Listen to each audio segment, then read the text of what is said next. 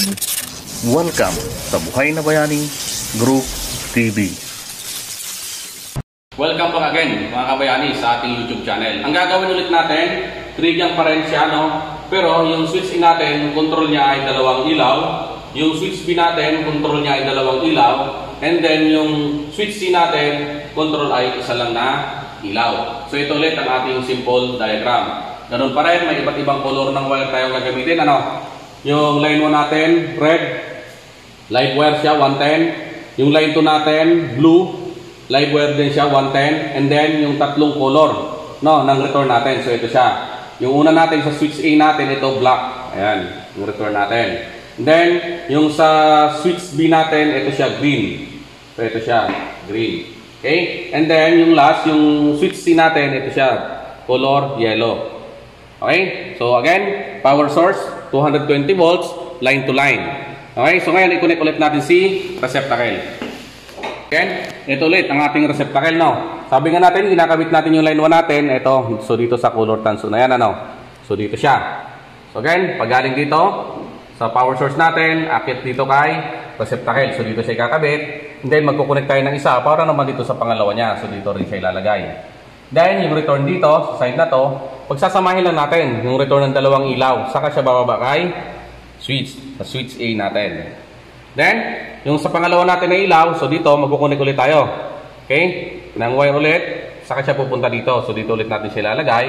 And then, magkukunik another na isa ulit, papunta naman dito sa pangalawa niyang ilaw. So, dito siya. Siyempre, ulitin natin yung return dito. Pagsasamahin yung return ng dalawang ilaw, saka siya bababa kay switch B natin. Siyempre, yung pangatlo, kailangan mayroon din. So, another ulit, connect tayo ng wire.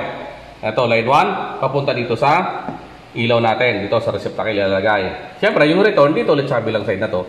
Saka siya bababa kay switch natin. Dito, switch C. Clear? So, ngayon, i-connect ulit natin si switch.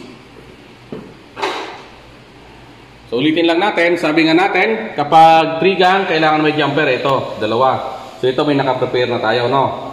So, ilalagay natin. Yan. So, dito natin ilagay. Yan.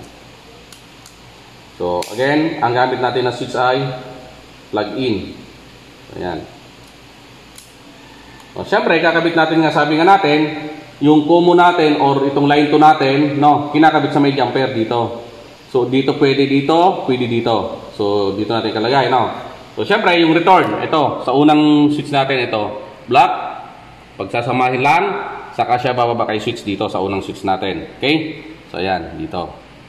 Okay? So, pangalawa, ito, yung green natin, itong return, pagsasamahin lang, saka siya bababa kay switch B natin. So, dito naman siya, side na to, sa pangalawang switch.